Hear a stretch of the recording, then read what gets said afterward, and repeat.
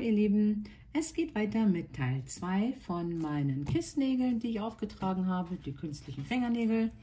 Ich bin jetzt an Tag 10, möchte einen anderen Lack auftragen, den habe ich jetzt schon ein paar Tage drauf.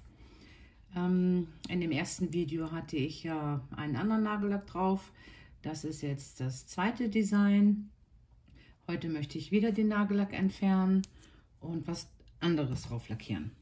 So, jetzt habe ich eben gesehen, dass dieser Nagel sich hier schon so ein ganz bisschen löst.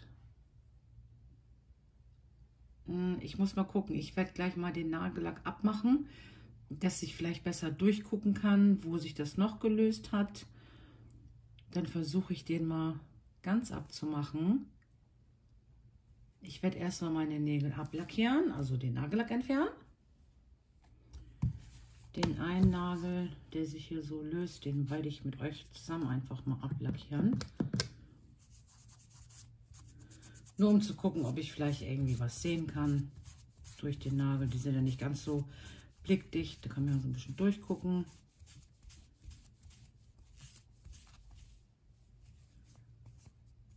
So, ja, jetzt kann ich auch schon sehen, dass er hier so ein bisschen eingerissen ist, ein bisschen gebrochen.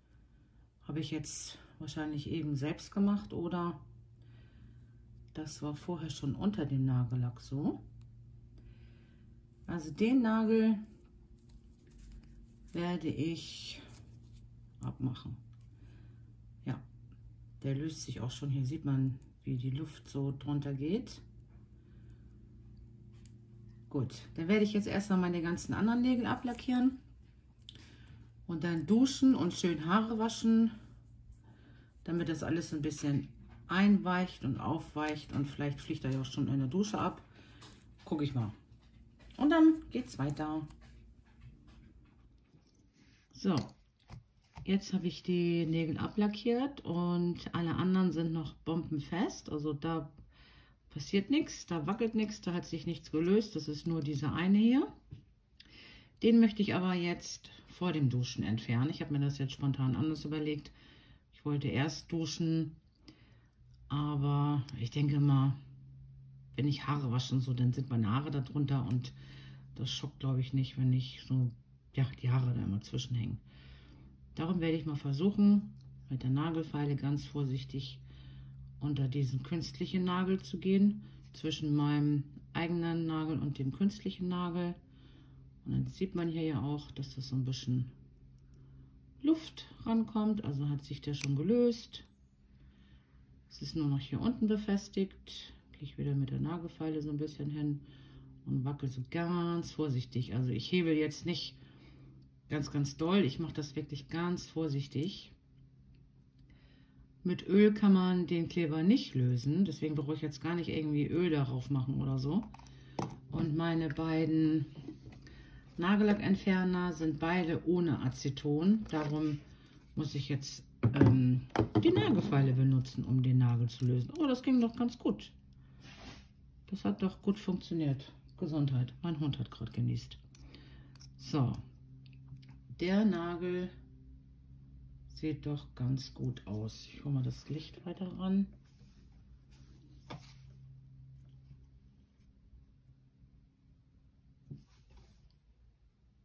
So. Jetzt bin ich am überlegen, ob ich mir überhaupt wieder einen neuen Nagel raufkleben soll. Ich werde mal so ein bisschen den Kleber anrauen. Hier ist noch so ein bisschen Kleber. Ich mal so ein bisschen anrauen. Und meinen Nagel einfach so ein bisschen in Form feilen.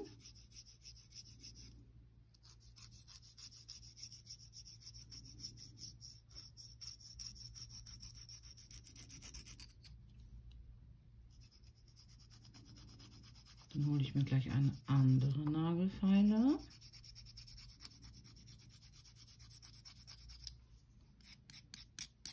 Ich habe jetzt gedacht, ähm, wenn der hier abfällt, den schmeiße ich mal weg, klebe ich mir einen neuen rauf, aber ich glaube, ich werde den so lassen. Ich werde keinen Kunstnagel mehr raufkleben. Ich wollte ja noch einmal Nägel draufkleben und meine eigenen Nägel wachsen lassen. Das mache ich jetzt auch. Damit die wieder so sind wie vorher. Ich habe sie hier ganz, ganz, ganz kurz geschnitten. Ich hole mal kurz eine andere Nagelfeile. Dann nehme ich eine, ja, 1, 2, 3, 4 steht drauf, also idiotensicher. Ich nehme jetzt erstmal die Nummer 1, die ist ein bisschen rauer. Von Kiss, habe ich bei Rossmann gekauft. Mit der 1 werde ich jetzt so ein bisschen den Kleber entfernen.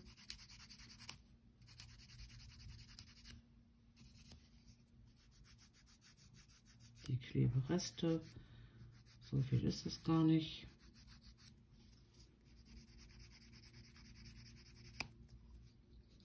Draußen ist gerade jemand, also mein Nachbar, am Rasenmähen, aber ich habe alle Fenster zu. Ich hoffe, ihr hört das nicht die ganze Zeit so brummen. Hoppala, und ich habe Schluck auf. so. Da ist noch so ein bisschen.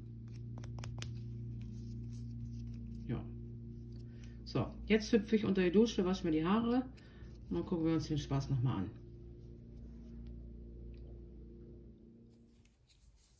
So sieht mein Nagel jetzt aus nach dem Duschen und allerdings einen Tag später. Also ich habe gestern gar nichts mehr gemacht, ich habe es einfach so gelassen.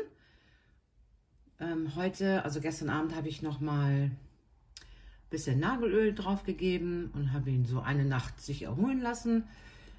Aber ich finde, der sieht so ganz gut aus, ist jetzt nicht irgendwie ja, brüchig oder so, der ist recht stabil. Also können meine Nägel, diese Kunstnägel bzw. den Kleber gut vertragen.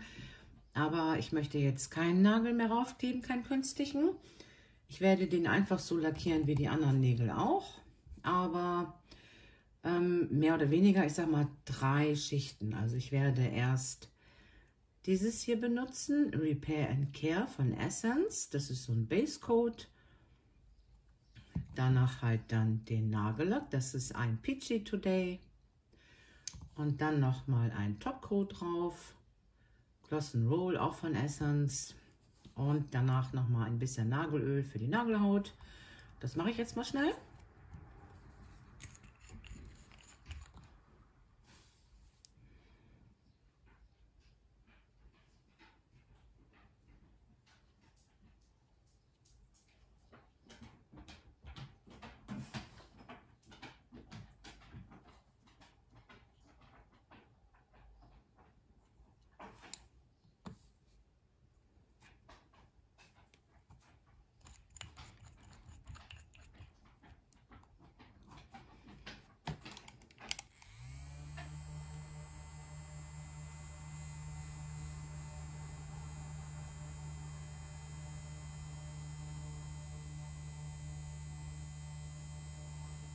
Und wieder ist mein kleiner Ventilator ganz praktisch. Damit trockne ich immer den Nagellack. Brauche ich nicht pusten oder warten. Hat sich also gelohnt, das kleine süße Ding zu kaufen.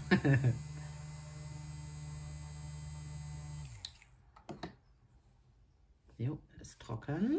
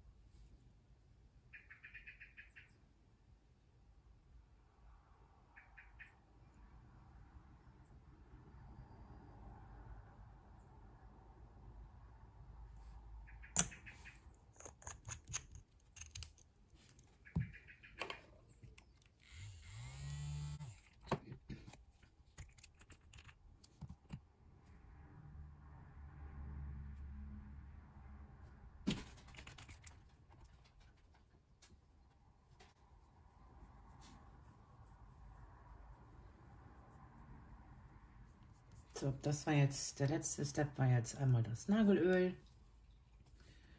Ähm, ja, ich finde, kann man so lassen. Mein eigener Nagel ist natürlich jetzt noch ein bisschen kürzer als dieser Plastiknagel. Aber so ist es in Ordnung. Die anderen sind noch bombenfest. Also da kann ich ähm, dran ziehen und rütteln und so. Also die sind noch richtig, richtig fest. Die würden, ja, das letzte Mal, als ich die künstliche Nägel drauf hatte, ist an Tag 13 ein Nagel abgefallen und dann habe ich sie alle abgemacht. Ähm, aber diese Nägel hier jetzt, ja, das fiel mich jetzt nicht mit, bis jetzt an Tag 14, 15 oder 16 eine abfällt. Ich wollte ja mitfilmen und gucken, wie lange sie halten. Und wenn ich jetzt ganz genau bin, also ist ja an Tag 10 schon einer abgefallen, beziehungsweise an Tag 10 hat sich einer gelöst. Da habe ich gar nicht richtig lackiert, sehe ich gerade. Nicht so schlimm. Also wäre der spätestens an Tag 11 abgefallen. Ich rau meine eigenen Nägel und die Kunstnägel vorher auch nicht an, bevor ich sie aufklebe. Dann halten sie länger. Haben viele von euch kommentiert. Stimmt auch. Aber ich wollte meine eigenen Nägel nicht anrauen. Und ich war zu faul, die künstlich anzurauen. Also, wenn man die ein bisschen länger haben möchte, also die Haltbarkeit etwas verlängern möchte, sollte man auch beide Nägel anrauen und auf beiden Seiten Kleber machen. Aber ich möchte meine Nägel nicht anrauen. Und ich wollte auch nicht auf den Kunstnagel und auf meinem eigenen Nagel Kleber machen, weil da ist mir dann zu viel Kleber drauf und dann quillt noch mehr an den Seiten raus. Darum mache ich das so. Ich weiß jetzt nicht, ob ich irgendwann mal wieder Kunstnägel anbringen werde. Jetzt lasse ich erstmal alle, ja, der, der abfällt, kommt ab. Wenn sich jetzt einer löst, werde ich ihn wieder so abmachen. Ähm, so wie ich das bei dem gemacht habe. Und dann gucke ich mal, wie lang mein eigener Nagel ist. Dann kommt da der gleiche Lack drauf wie auf den Kunstnägeln. Meistens wechsle ich den Lack alle fünf Tage. Und dann lasse ich meine eigenen Nägel mal wieder wachsen. So, das war's, ihr Süßen. Ich hoffe, das war hilfreich oder ihr habt vielleicht noch ein paar Tipps für mich. Wer weiß, vielleicht habe ich mal wieder Bock, welche aufzukleben. Ich habe auch noch genug in der Schublade. Ich sage vielen Dank fürs Zusehen. Wir sehen uns im nächsten Video. Tschüss, ihr Lieben.